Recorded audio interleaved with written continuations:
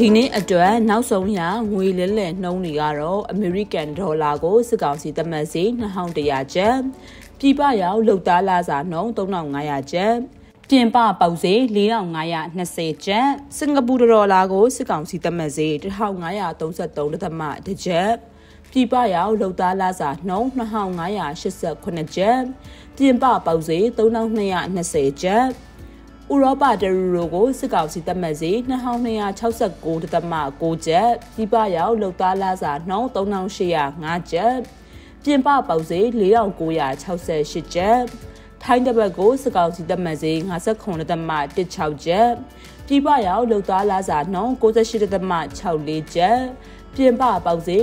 124တမ22ကျပ်မလေးရှားတရင်းတကိုစကောင်စီတက်မှတ်စေ444တမ92ကျပ် ပြင်ပပေါက်စေ945ကျပ်ပေါက်စေရှိပါတယ်ဖော်ပြပါငွေလဲတဲ့နှုန်းတွေကအချိန်နဲ့အမျှပြောင်းလဲမှုရှိနိုင်ပါတယ်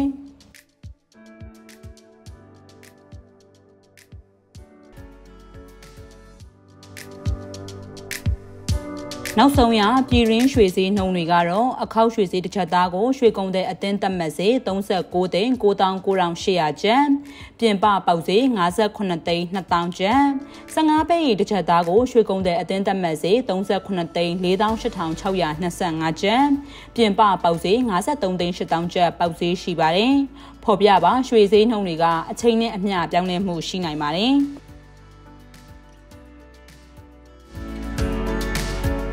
နောက်ဆုံးရရန်ကုန်73စီစီးနှုန်းတွေကတော့ဒီဇယ်တလီတာကို2335ကျပ်ပရီမီယံဒီဇယ်တလီတာကို2385ကျပ်အောက်တိန်92တလီတာကို2625ကျပ်အောက်တိန်95တလီတာကို2935ကျပ်ပေါက်ဈေးရှိပါတယ်။ဖော်ပြပါဈေးနှုန်းတွေကအချိန်နဲ့အမျှပြောင်းလဲမှုရှိနိုင်ပါတယ်။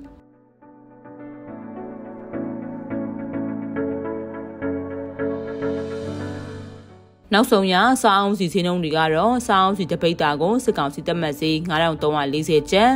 ပြင်ပပေါက်ဈေးမှာတော့တပိတ်တာကို12000ကျပ်ဈေးပေါက်နေပါတယ်အခုဖော်ပြပါဈေးနှုန်းတွေကတော့အချိန်နဲ့အမျှပြောင်းလဲမှုရှိနိုင်ပါတယ်ရှင်